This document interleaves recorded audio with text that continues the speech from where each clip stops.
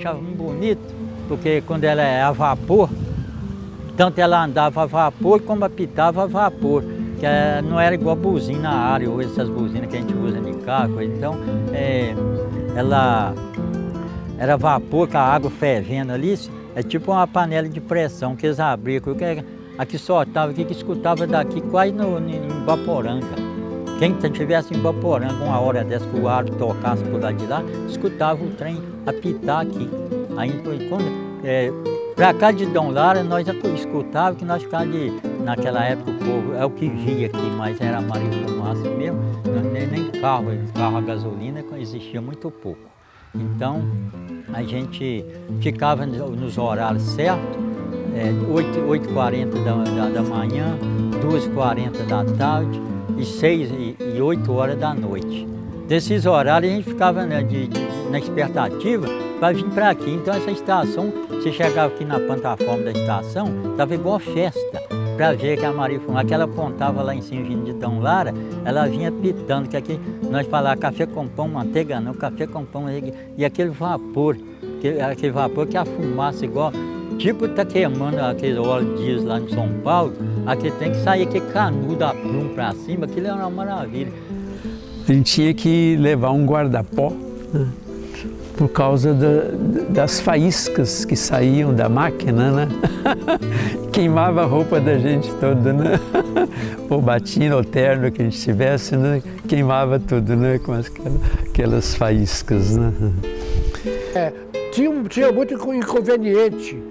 Os trilhos era, o trem viajava sobre, sobre, é, é sobre dormentes de madeira e não tinha, não tinha pedra. Então dava muita poeira e além, além da poeira nós recebíamos muito as fagulhas que saíam da, da máquina, que, que ela soltava de noite era até bonito. O céu ficava estrelado de fagulhas e aquilo caía na gente. Né? Eu cheguei em Caratinga é, cuspindo, como se dizia na época, barro. Tanto pó que eu, que eu tive que engolir na minha garganta, né? E nariz entupido, etc. E eu fiz essa viagem. Mas, em compensação, era uma viagem muito agradável. Porque tinha uma, uma máquina que puxava, ela era movida a, a lenha. E aqui jogava aquelas faíscas de, brasinha para trás, conforme o jeito que a pessoa tivesse, ele era atingido. É, punha até em risco. Mas era uma viagem gostosa. Para nós, por exemplo, era atração da época.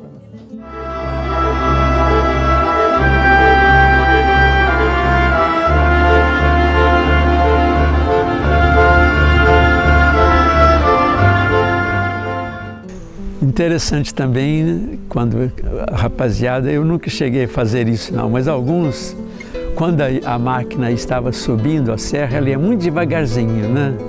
Diminuía a marcha mesmo, devagar, né? Então alguns saíam, iam para, iam para a, prima, lá, a classe da frente, né? Pulavam, apanhavam cana na beira da, via, da, da, da, estrada, Ponte Nova era cheio de cana, né? E entrava no último vagão, né? Dava prazo de apanhar cana e entrar.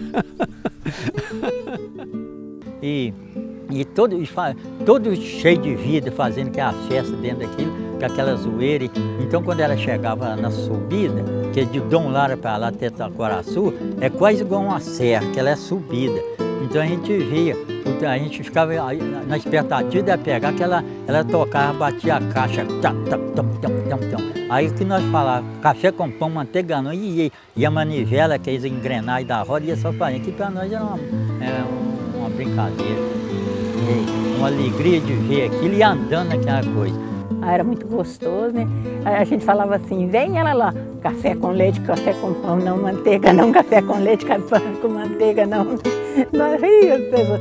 E de primeira a gente era criança, eu, eu sou nascida lá na Água Santa. A gente vinha pra rua, menina, ela apontava lá aquele fumaceiro e jogava água quente na gente brincando. A gente tinha medo, eu, eu entrava até dentro do mato de medo. Elas pegava aquele, assim, bafejava aquela água quente, morna, batia na pessoa ficou ficasse corresse, né? E eles jogavam água aqui.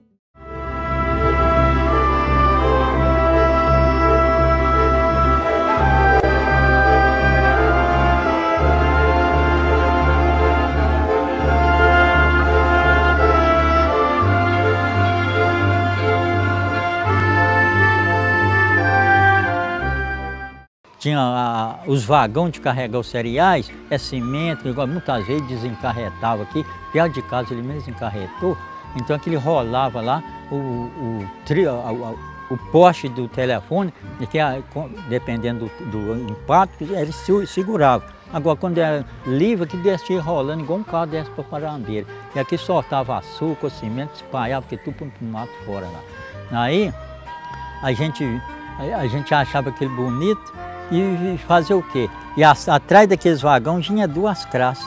Tinha a classe de primeiro e tinha a classe de segundo e tinha de terceiro. A de primeiro, aquele que era mais granfino, pagava mais caro que ia andar na almofada, né?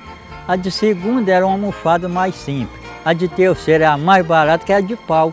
Então nós preferíamos de pau, porque aqui era uma média de, de umas duas mil pessoas, 1.500, 1.500 a duas mil pessoas que tinha tradição de assistir o jubileu aqui em Dom Modesto na época e ir no Bom Jesus. E de bom tinha muitos parentes que, que morava, tinha parente em Congonha, ia também, mas nós era mais preferido em Bom Jesus. Então o trem de ferro não cabia as crasses que nós falamos, hoje eles falam vagão, mas tudo para nós era crasse e a outra era vagão. Nós enchia vagão, crasse, nós ia pendurado naquilo e ia para Bom Jesus.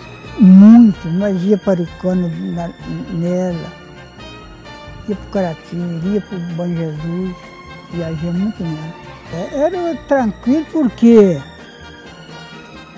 era uma viagem confortável, de muito respeito, né?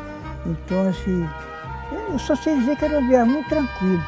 A gente era o transporte mais barato e continua sendo até hoje se existisse aqui. Mas é, é coisa do governo. O governo, se pensasse um pouquinho lá, que tantos governos que passou daquela época para cá, do tempo de Getúlio Vargas, que até Getúlio Vargas ele foi fazendo essas economias. Ele procurava o transporte mais barato e, e para o governo fazer não é difícil, depende ele querer.